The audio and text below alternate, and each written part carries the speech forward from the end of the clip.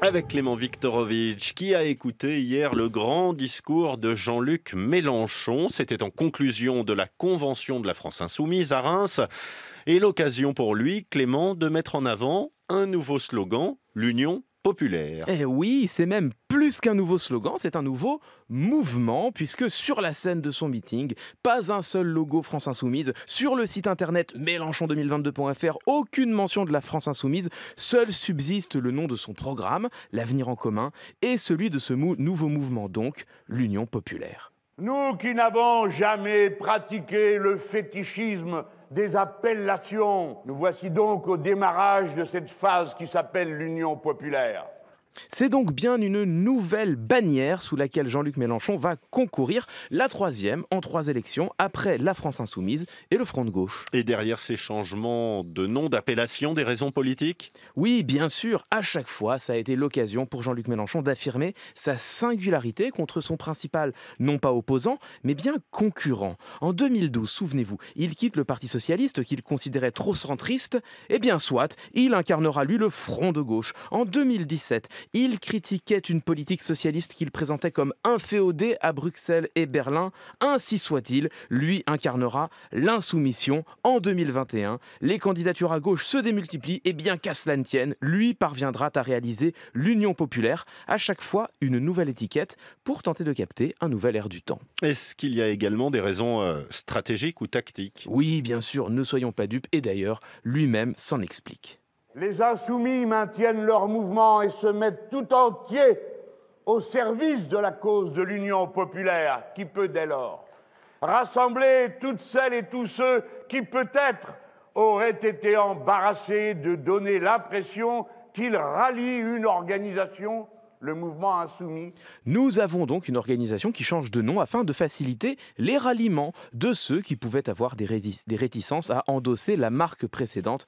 Et c'est une situation assez classique. C'est exactement au fond ce qu'a fait Marine Le Pen quand en 2017 elle faisait campagne sous l'étiquette Rassemblement Bleu Marine plutôt que Front National, avant d'ailleurs de renommer celui-ci en Rassemblement National. Mais elle n'est pas la seule. Anne Hidalgo également a fait campagne pour Paris en 2019 sous la bannière Paris en commun plutôt que Parti socialiste Commun, rassemblement, union, derrière ces mots, on comprend l'idée. Oui, c'est ça, c'est le Graal pour un candidat à parvenir à rassembler son camp.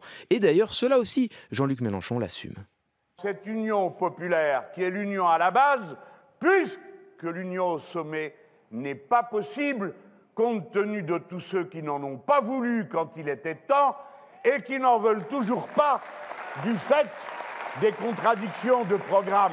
Les autres candidats de gauche n'ayant pas voulu se rassembler d'eux-mêmes derrière Jean-Luc Mélenchon, Jean-Luc Mélenchon rassemblera donc le peuple derrière lui. Telle est son, son ambition déclarée. Et c'est là que, pour la première fois, la bannière de Jean-Luc Mélenchon se heurte aussi clairement à la réalité. Parce que il pouvait orienter son programme pour se positionner très à gauche en 2012 ou pour incarner l'insoumission en 2017. Cela ne dépendait après tout que de lui. En revanche, faire l'union, cela ne se décrète jamais a priori. Cela se constate a posteriori quand on l'a réalisé. Et en ce sens, la rhétorique de Jean-Luc Mélenchon se rapproche aujourd'hui de l'incantation. Elle consiste à décrire la réalité non pas telle qu'elle est, c'est-à-dire marquée par la désunion, mais telle que l'on voudrait qu'elle soit. Aujourd'hui, Jean-Luc Mélenchon ne peut pas se prévaloir euh, d'incarner cette union populaire? Non, je crois pas, loin de là même, puisque jamais, jamais l'électorat de gauche n'a semblé aussi fragmenté. Et d'ailleurs, puisque Jean-Luc Mélenchon a terminé son meeting en citant, comme il le fait souvent, Jean Jaurès, on pourrait rappeler l'une des phrases de ce père du socialisme. Quand les hommes ne peuvent changer les choses, ils changent les mots, c'est ce que disait Jean Jaurès. Faute d'avoir fait l'union, Jean-Luc Mélenchon se borne à la déclarer. Et en même temps, la force de la rhétorique de l'incantation, c'est que parfois, parfois, elle finit par modeler la réalité selon ses désirs, à la manière d'une prophétie autoréalisatrice. Est-ce que, en changeant les mots, Jean-Luc Mélenchon parviendra à changer effectivement les choses? Eh bien cela, l'avenir seul nous l'apprendra. Entre les lignes, c'était Clément Viktorovitch.